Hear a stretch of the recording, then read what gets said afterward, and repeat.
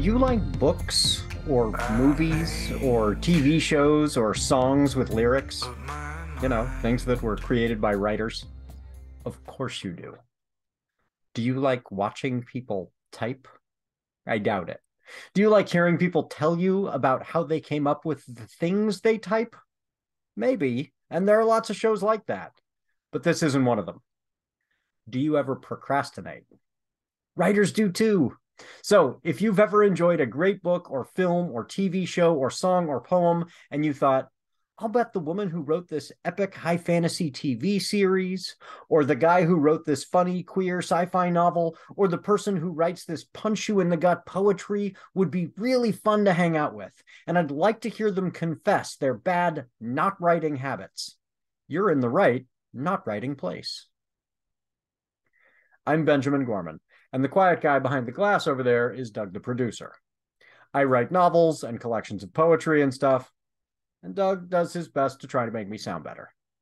From Not a Pipe Publishing, welcome to Writers Not Writing. Today's secret word is obtuse.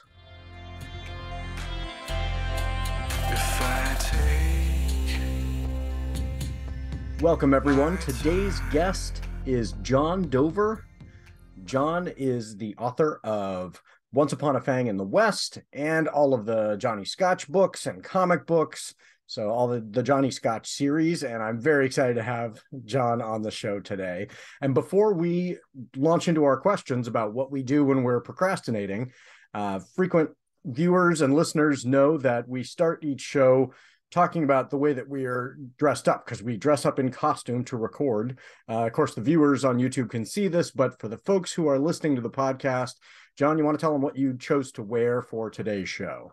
You know, this is a special occasion. You know, it snowed, we have the holidays, so I really wanted to go all out for you this morning.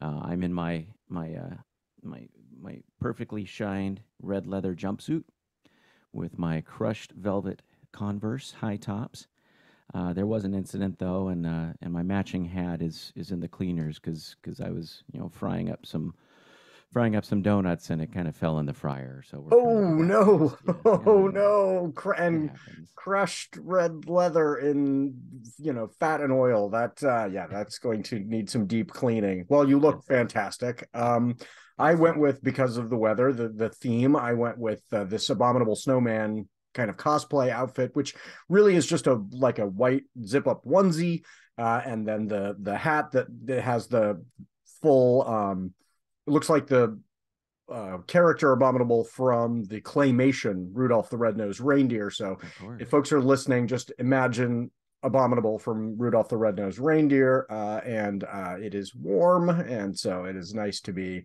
dressed up as abominable for our for our show today. Always good to be cozy. Yes, it is. It is cozy. Um, okay, so when you're not writing, this last week, last few weeks, what has been distracting you in terms of pop culture?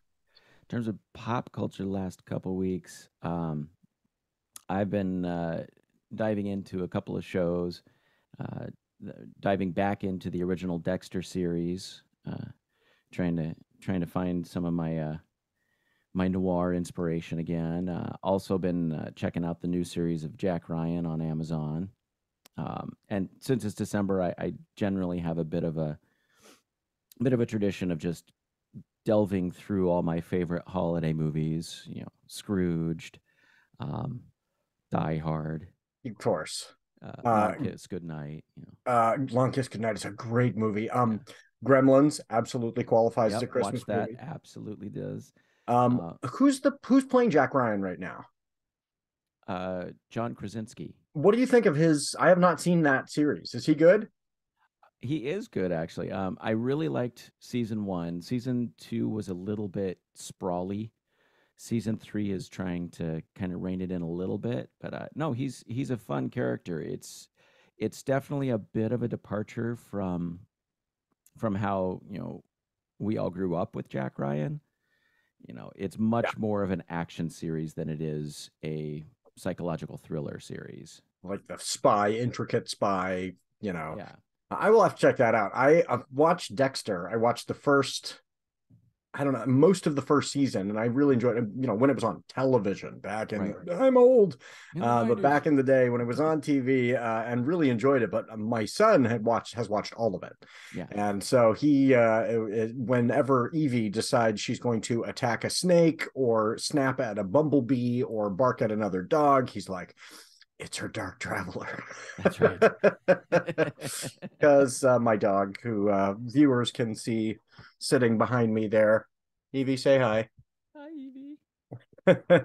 is uh, a a kind of secret psychopath like Dexter. Um, Uh-huh. Due to her trauma before we rescued her, Yeah. uh, she wants to attack everything to protect me. It's very very sweet, uh, but it means I mean ev- everything is fair game. So yeah, she she has a dark traveler.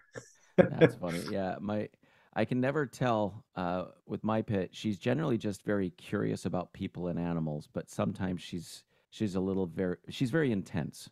Yeah, So Yeah. which can always throw people off their you know on their guard, which then makes her go on guard. So Right. it's always always funny to see the reactions, but she's very very good with almost everybody and most most dogs. Evie is great with all humans, and that was really important. Yeah. Like I was, you know, when when got her, I was like, I can't, you know, as a teacher, have can't have a dog that's going to snap at children. like that's Right. not going to work, you know.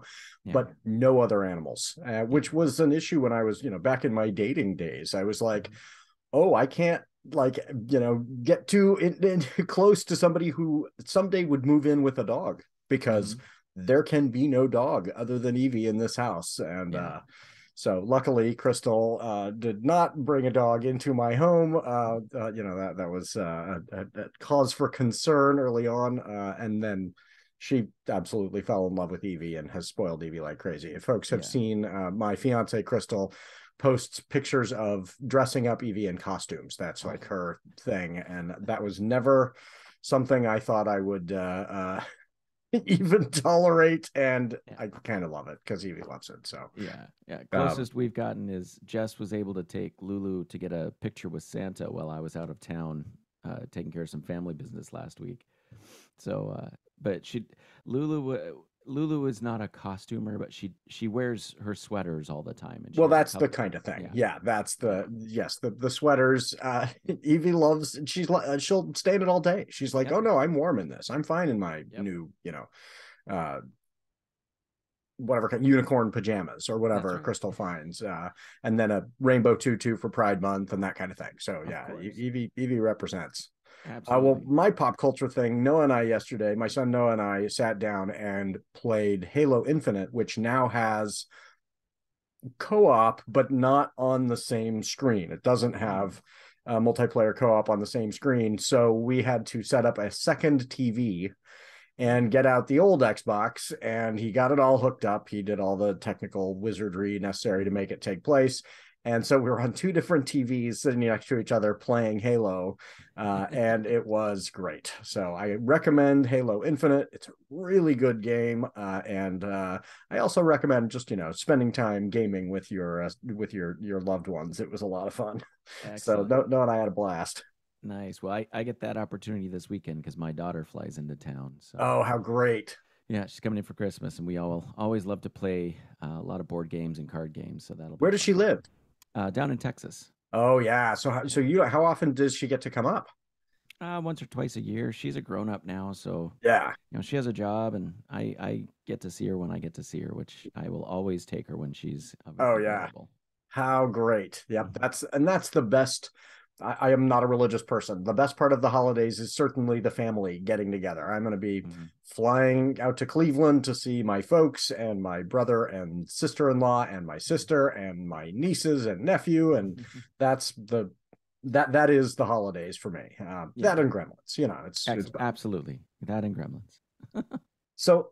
Uh, aside from pop culture stuff, what about news? What in the news has been pulling you away from your writing this last week?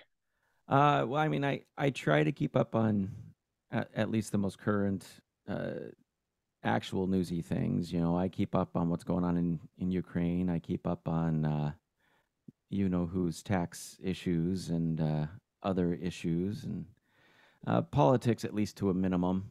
Uh, I I think, uh, like many people, uh, very very feel very burnt out on a lot of the politics going around the world right now. Yeah. But still have to know what's happening to be able to know uh, what's Did you? on. I'm a I'm a political junkie, so Yeah. you know anything. I you know I'm I'm I'm voraciously taking in. But did you get a chance to see Zelensky's speech or see any clips of it? I, I didn't know. I I, I heard it was highly great. recommend it to all Yeah. the listeners, all the viewers. It is incredibly inspiring. You have to get over his accent, uh, and so Yeah. you know he does have a thick accent, and so as an orator. The speech is very well written. It's very well delivered. The guy was an actor for, you know, Right. I don't know, you know, and so he knows how to deliver a speech, but his V's and W's, you know, his V's come out as W's. And so you have to get past, you know, there were times where I was going, I missed that sentence until after and then it, it threw off the applause breaks because the the congress was going we're trying to understand oh now we're clapping and it was like too late so there were some weird moments in there where i was like that would have been an applause line uh, and then he pauses for an applause and then it's like oh nobody's applauding? Oh because they don't get it. Oh, then he'd worst. deliver the next phrase and then everybody would go oh okay now i understand what he's talking about. But the speech itself is very good and the ending of it you're just incredibly inspired. So yeah worth worth checking out because the ukrainian people what they are dealing with right now he talks about how we are in the united states you know experiencing our holidays with electricity and heat Mhm. and the people in Ukraine are having a Christmas without any electricity or heat in many parts of the country.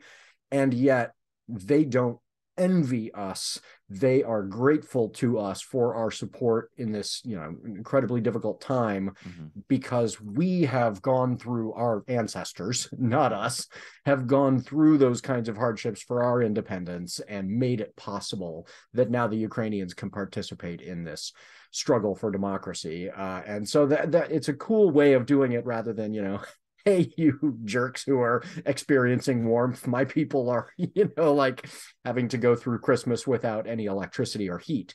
Uh, Right. So it's a very good speech uh, and it makes you feel proud. And it was really cool to see the bipartisanship. There were like five Republicans who sat on their hands and made a real show of themselves not being supportive, um, Sure. which history will note, you know, who well, were and the it's five uh, who were like, we refuse. Um, and I read a really interesting article that came out today about if somebody had said to the US military, you know, five years ago, hey, for 5% of your annual budget, if you could defeat 50% of Russia's military capability, would you do it? Yeah. They'd say, absolutely. I mean, this is cheap. Uh, Yeah. This is incredibly inexpensive. It was maybe five. It might have even been a half of a percent. Um, and yet, you know, thanks to the Ukrainians who are actually doing the real fighting and and dying and living in homes without heat, Yeah. for pennies on the dollar, we are able to confront the Russians. So that Yeah. uh, I, I hope addresses some of those concerns about, oh, this is so expensive. No, this is a bargain. we are taking on a dictator for next to nothing. Um, Right. I shouldn't say we. Other people are doing the fighting. yeah. Uh, you know, we are We are supporting providing the support. Yes. Um, no, absolutely. Yeah. The, and then the only other thing I've really been keeping up on, I mean, again, because of the holidays, uh, been checking out the Portland Mercury, keep it local, and finding their, uh, you know, Steven Humphrey's uh, gift guide. That's always entertaining and always has some fun local ideas for, for making sure uh, the, the people in our lives are taken care of. That's a good idea. I have not checked that out. So, and and it's a fun one. Like it's a Yeah. you know a funny gift guide kind of a thing. Yeah, I- I mean, it runs the gamut. Everything from local liquors to, um, you know, spa days and, and stuff, and just where to find really interesting, unique things.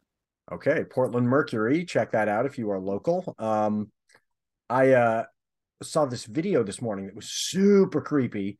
Mhm. That was a this is totally unrelated to you know nice gift giving in Portland. Uh, but uh, that was uh an interview with this kid who was like maybe eight Uh-huh. who was explaining his beliefs based on his parents' devotion to the QAnon conspiracy.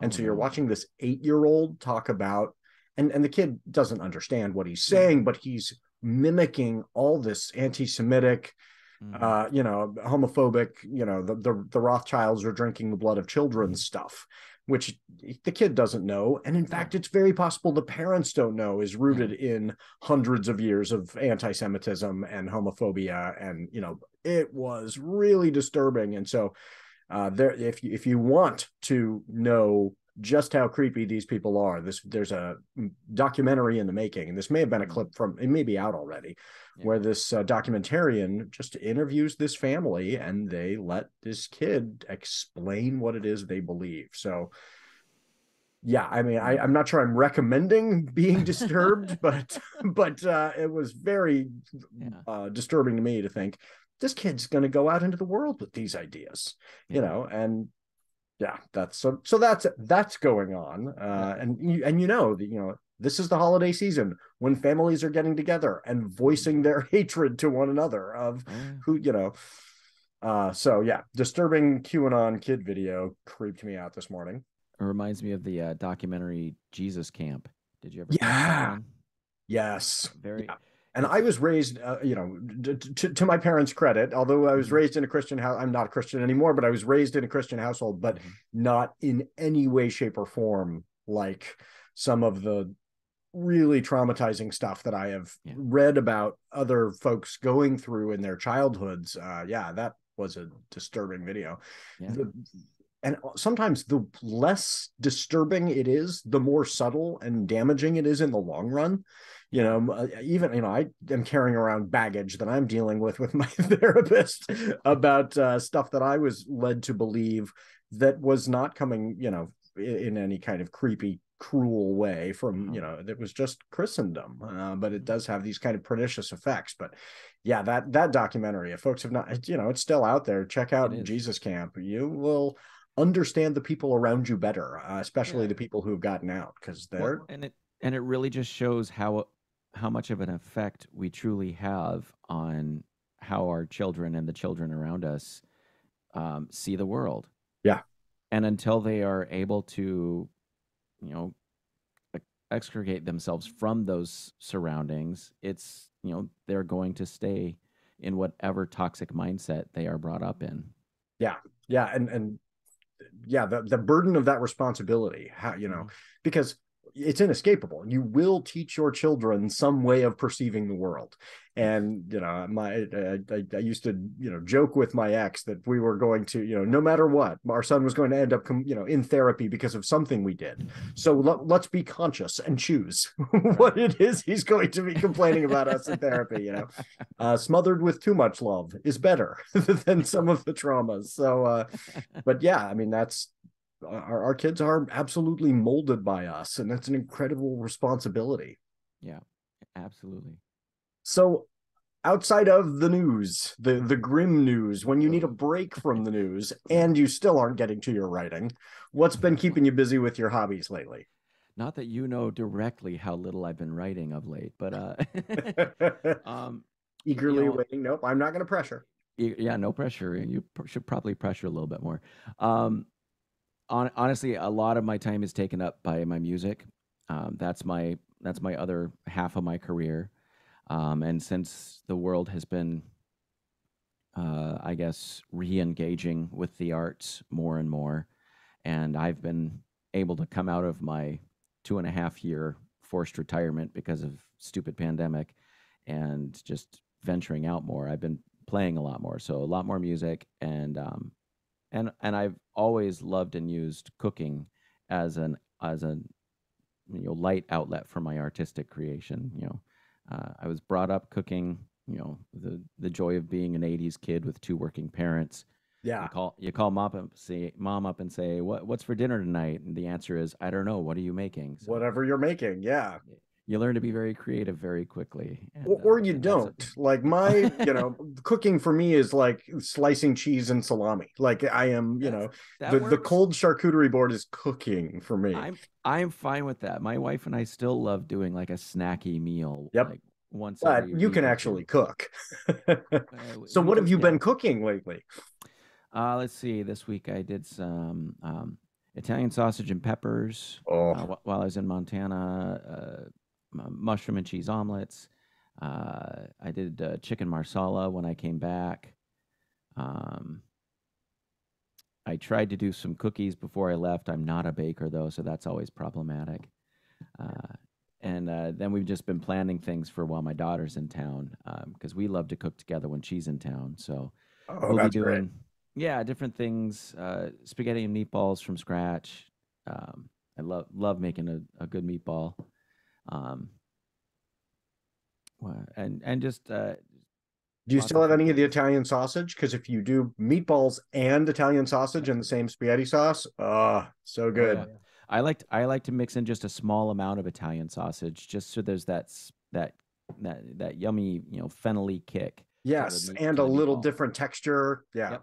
Yeah, you, you need that extra fattiness in there. Yes, so. exactly. There's yeah, there well, I mean, Italian sausage there's really no such thing as too much Italian sausage. You can find a place to put Italian sausage in just about everything. Not the cookies. I would avoid in the cookies, but uh hmm. I know now you're thinking I mean, about it. I'm I'm thinking about it now. You know, you get a nice a nice savory shortbread and and just put a little bit of that on top with a little bit of cheese. I mean, I, I, I would certainly be memorable at the at the Christmas party. Who brought the cookies with the Italian sausage in them? that, that was me. so tell everybody a little bit about the trumpet playing because I'm really curious how I know that so you play and also teach and Correct. the teaching during COVID was nightmarish. How did that work out? And you know, you said kind of forced retirement. I mean, it didn't work out in many ways during. So how did that how did that go? Uh, teaching was actually my primary outlet for playing during pandemic. Um, that was one of the things that me and just a lot of private music instructors pivoted towards very quickly was figuring out the tools on Zoom um, Zoom recognized that there was a lot of that happening, and they the first thing they did is they made some very specific sound modifications to their platform, which allow, if you've got the right setup, like I do, for my students to hear really nice examples of sound um, with uh, versus like if you just go direct through a computer or a phone with an instrument, almost any instrument, it starts to break up. You know, you yeah. lose lots of it. And I still do because none of my students have the sound setup that I do. So yeah. I've had to get very creative with how I watch what they do. And then just whatever sound comes through, I, I just have to extrapolate and kind of because I know so much about how young players approach, you know, their bad habits. It's it, it, it works. It's very difficult though. Yeah, and you're teaching, and your lessons are all one on one, right? They're all one on one. Yeah. I have I a friend who uh, plays with a band. Uh, Ed Probst plays with like four bands, plays trombone, uh, and uh, and recording online was impossible. I mean, the, even yeah. the tiniest bit of lag, they just couldn't do it because you know one person's system is a little laggier than mm-hmm. another, and so they couldn't all be recording, and so they would have to create a recording, then somebody would record to a track, and it was just so difficult. Yeah, I did a few of those type of recording sessions during pandemic, and yeah, they're they're they're not great. they really I mean, you just not. lose that atmosphere of we're in the same. I mean, not just in the same space physically, but we're this is a communal activity. Like we are mm-hmm. doing this together. It becomes four solo projects that happened, and then we're synced up. Yeah. Now there was um, I we did have an interesting couple of experiences because uh, one of the groups I I run the 3Ds, we would do a holiday concert and we kept those up during pandemic. And my uh, my guitarist, who's honestly the driving force of that group, um, is just really smart about technology, and he figured out because he was extremely cautious and, and which we appreciate out of him but he figured out how to have him in his part of the studio, and then we were in the isolated chambers of his studio. Um, everyone was going through an iPad into his computer. Everything was mixed down directly from in his mixing board, sound wise, and it. So we were able to do live streams in pretty much the same environment, but still separate. Yeah, that works. But when you're in different parts of the country or even town, it doesn't because sound is too much data for this this lovely uh, tool to handle. But in that case, you're in the same house, but you're all safely separated. But you're on the same network, so you're all on the same Wi-Fi, the same system. That's everything's just being pulled into the same exact outlet. So it's going out at the same time instead of coming in at different times. That is smart, but you got to have the right setup. Like you've got to have somebody who can get, you know, multiple people in the same house in different rooms. Yeah, I can't imagine how how he thought of how to configure all that. He's Yeah, he's I mean it you know, you've got but, but he had the time. Yep. During lockdown time. we figured out a lot of new tricks. Uh, but yeah, that that is cool to, to even may, be able to manage that. And where can folks find your music? Well, they, they can find my music if they just go through my site, uh, johndmusic.com. Um, I believe, uh, yeah, all, all my CDs are available on Amazon, which I don't recommend because, you know, why pad the pocket of Mr. Mr. Bezos if we can avoid it? But that's Yeah. just how it is. It's out there. Um, I also, uh, you know, work with a group called the Call In Trio. So the callinTrio.com. There's some uh, fine recordings that I'm on with them, which I'm really proud of. And uh, those those are the main places to find my stuff. I try And the holiday special piece is that still up? Is that one? I think it got yanked because YouTube did a a big cleaning house Mm. about a year ago, year and a half ago, where pretty much not everything, but a lot of uh, a lot of anything that might even potentially have a copyright Oh yeah, you just got automatically yanked. Didn't Yeah. matter if it was above board or whatever. They just were like being cautious and like half of my YouTube channel just went away one day. was very- annoying. yeah. You're like, no, I promise, I am the the artist on the screen is the one creating the music. This is I not a, that's me. yeah. The, the computers do not. The the algorithm doesn't know. Yeah, and I also have uh, uh, John Dover trumpet on uh, Bandcamp.com.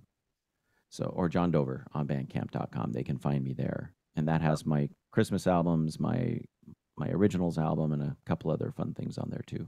A way to circumvent Amazon as well. So check that Yeah. out. John Dover on Bandcamp.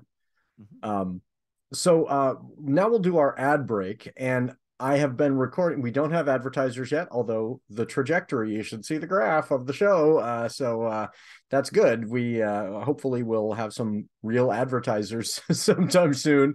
But in the meantime, last week I was realizing me reading the ad while the other person sat there and just watched was no fun for anyone. So I'll do. I'll record the ad separately, and Doug, the producer, will make this all look fantastic and sound good. And, you know, so we'll thank you, Doug. We'll, we'll let him uh, arrange. This week's show is brought to you by every procrastinating author's best friend, Frank and Abner's Disappearing Ink. Send in ream after ream of blank pages to your editor, assuring them that you used all the words and are submitting Pulitzer worthy gold. Warning Frank and Abner's is not disappearing and reappearing ink, so the printed text will not reappear. Frank and Abner's is not responsible for lost masterpieces, broken contracts, or tears. Get your bottle of Frank and Abner's today, or try out their print cartridges, which are guaranteed to last 10 times longer than whatever brand is in your printer now. What do you think, Doug? The second one? Okay, you will go with that. So our next segment is the haiku section, and uh, nobody submitted a haiku online or via uh, email, but please, folks, if you've got a haiku that you are proud of that you want to send in, we would love to have those. And uh, John, you want to try and write one off the top of your head? You know, I I, I think I should. Uh, you know, it's not an endeavor I generally go after, but I think it's it's good for writers to stretch a bit. So yeah, let, us give it a shot. Uh, what, what was it? Five, seven, and five. Yes. All right, here we go. Uh, my page awaiting thoughts. Welcome to my obtuse rants. Void is my input. Ah, nicely done. Okay, good. That, that that second line, I was counting it out again. It is seven. So nicely done. Obtuse rants. Yes. and and that last line the the the input void is the input rather than the output uh you know uh how has I, sh- I shouldn't get into the writing. This is I, have to catch myself. This is a show about procrastinating. You're Uh, welcome to ask. yeah yeah i don't i don't want to press i, I for the listeners to, should know that uh john has written this fantastic book uh, once upon a fang in the west and is now working on what is the prequel slash sequel? Is that the way that's going to work or is it all prequel Uh, It's it's not prequel. I had to re rethink my thoughts on that. It is actually uh it is a it is a sequel. full on sequel and i am very excited about it not just uh, as a reader Uh, anybody who has read Once Upon a Fang in the West will be excited for the sequel, but I'm also the publisher. so I am not pressuring John, but I do want that sequel. So how's that thing coming along? It's coming actually pretty well. I would say uh, I've still got about 15% left. 20 Oh, that's left. close. So I'm pretty close. It's it's just tying up a few loose ends in it. Um, I believe I have a working title that I really like. So if you, if you want a preview of that, I, I don't know. Do you want to tease it? That's totally up to you. Uh, you know what? It, I can tell it to you now, and you you and your producer can decide if you want to bleep it out. If it if if you don't if you decide you don't want to go with it. But oh uh, no, let's let's and, it still may change. It's a working title, so working uh, title. we can get some feedback for you maybe too. People could say, "Oh yeah, I like that title." So obviously, as you know, but sometimes sometimes the listeners might not. This is uh, a series that I kind of put in a spaghetti western feel, but with monsters and vampires and all sorts of good and evil things happening. Uh, so my uh, the uh, the working title of this new one is the good, the bad, and the ruby. Oh yeah, yes. So still going I with like that it. theme. So once upon a fang in the west, you know, is that riff on on my favorite old west movie, Once Upon a Time in the West, and then so that's Sergio Leone. Oh yes, yeah, Sergio Leone. Uh, everyone's in it too. Um, some really you know, like Jason Robards is in that one. Um, just as this evil cuss of a man, which is everyone in there is just bad. Charles Bron, a very young Charles Bronson. Oh wow! Yeah, has a gorgeous score by Ennio Morricone, um, who did so many of those uh, old old Western scores, and also a lot of the more modern things like the Untouchables from the. Oh wow! He did the score for that. So uh, just that's always been one of my favorites that really embodies that era of filmmaking the Italian. So when somebody calls us up and says, you know, from Netflix or Apple TV or whatever, and says they want to do uh, Once Upon a Fang in the West, uh, the the film version, we will say you have to find somebody really good to do the score. like it's got to be at that level. Which I might have some input there. So. Yeah, exactly. Uh, yes, the the author himself is a musician, and you're gonna you're gonna hear from us about that. Uh, but yeah, folks who have not checked out that book, it is it is bloody grisly fun. Like it is designed to be fun. As i was reading through it i was like you know should we add this element or that element no it's just fun as is. Like enjoy the heck out of this. So check out that book folks. Uh, once upon a fang in the west if you like vampires and i don't want to say what else beyond vampires but there's more than just vampires and it is set in this gritty wild west environment that is uh, that that's a fun idea for a setting. So either of those, if you like either, check this out because it'll pull you into, oh yeah, I do like that idea of, you know, putting the vampires in the old west. Or uh, if you're a, if you're a Western fan, you will appreciate this one and like the twist. So definitely check that one out. Um, so what else have you been up to lately in terms of things people can do to kind of support you right now? Any music stuff? What's going on currently? A lot of my music has been live um, so just going out and performing live. Uh, I I have been working on some new original songs, hopefully for uh, a future album. Uh, but mostly just working with you know groups like the Colin Trio, um, the Portlandia Brass, and uh, you know Crystal Lane and the Hurt. So a little bit of rock, a little bit of classical, a little bit of jazz, and it's just been a just been good to get back going back in yeah. front of an audience. Yeah back out into the world. Well everybody check those out and uh, you know look up where they'll be playing near you. Um so next is our weekly poll mm-hmm. and our last weekly poll was uh, given to us by uh, marie parks on the last show. She asked elf on a shelf cool or creepy?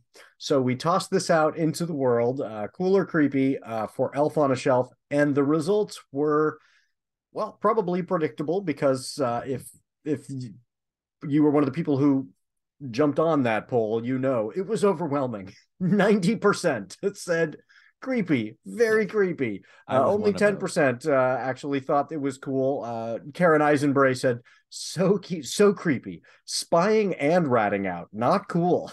Right. yeah, the, it is. It's it's teaching your kids to love Big Brother from uh, from childhood. like, it's very, very creepy. As if So- the idea of Santa or even Krampus wasn't enough, so they had to come up with kind of a combination of the two.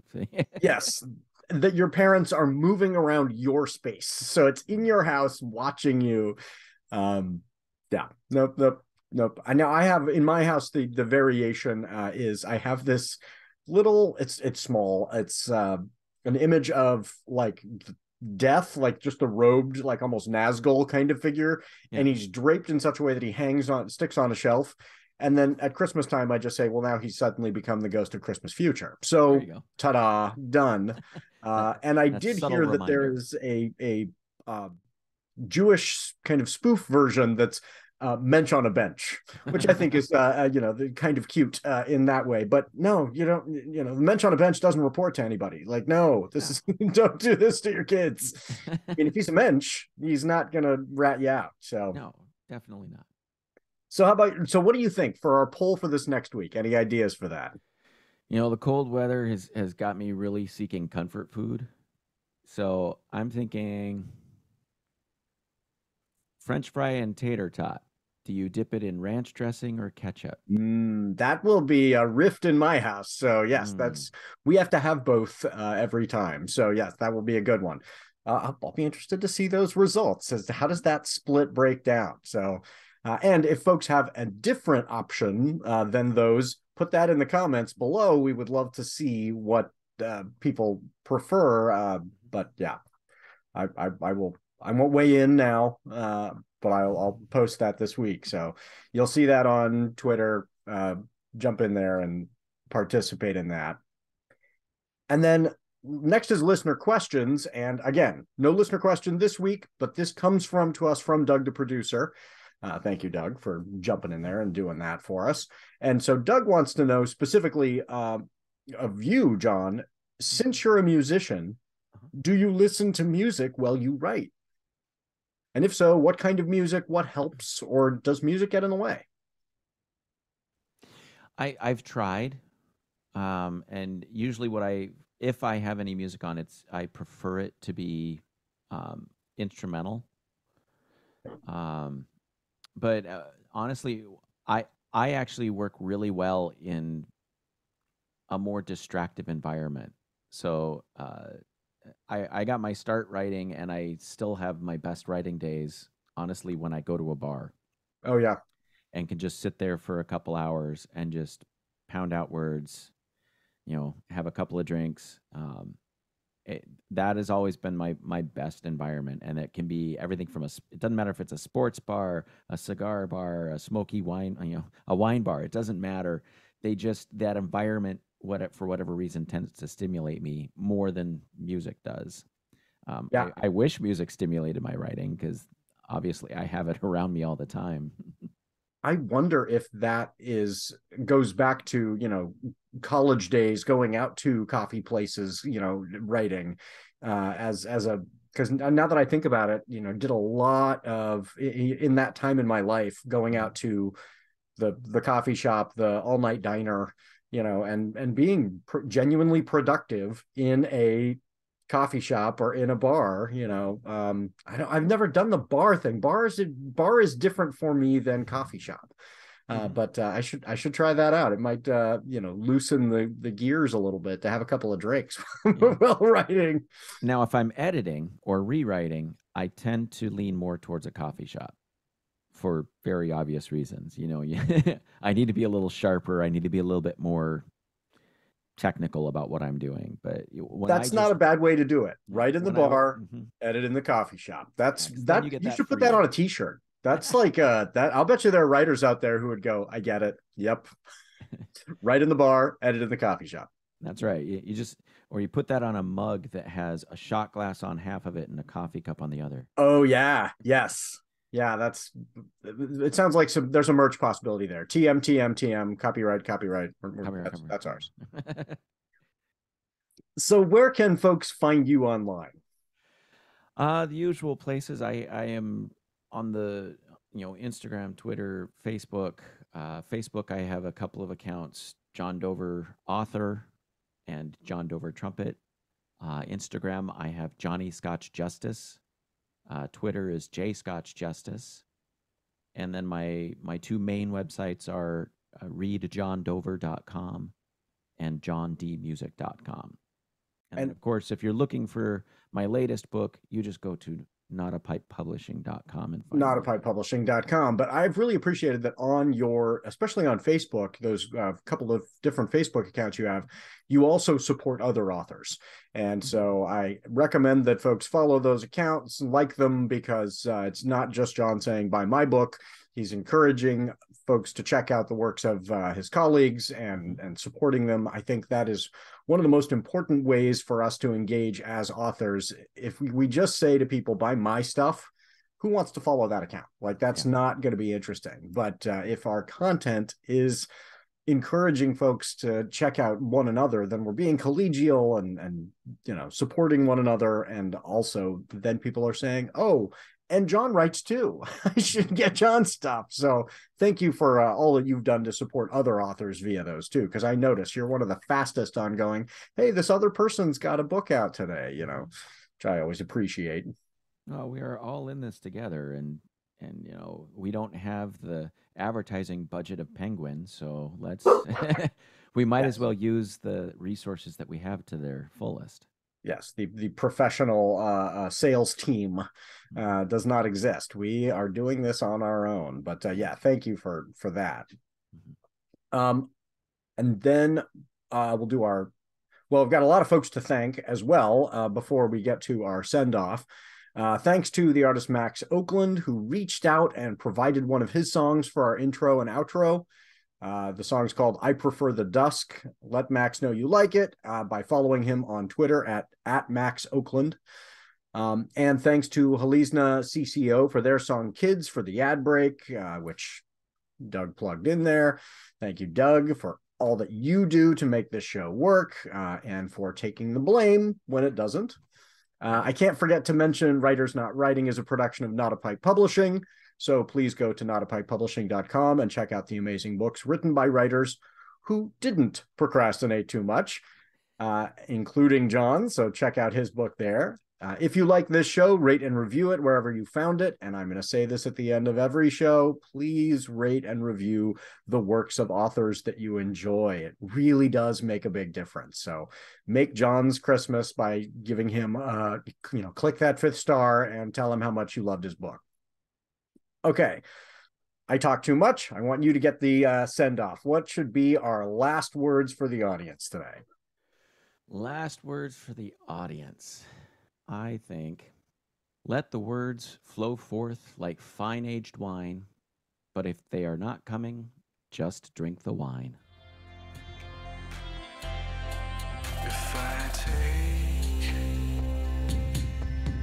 my time I'm